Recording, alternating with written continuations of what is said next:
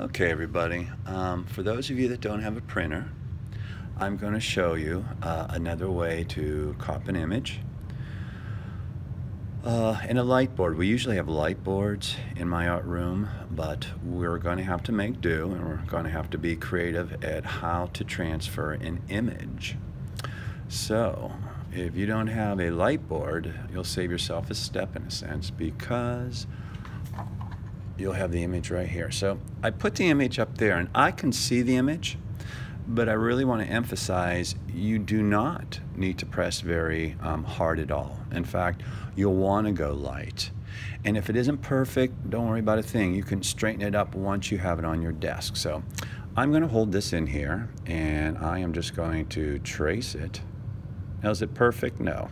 Oops. All right, I'm going to do that again.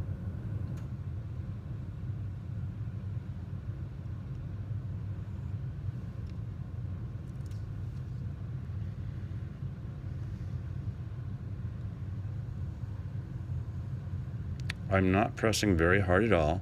I'm going very loose because I can straighten up these lines once I have them on my desk. Okay, so what I have now is a sheet of paper with roughly, let me close the screen here, uh, with an apple here. And I'll be able to do this quite nicely, as you will too, okay? All right.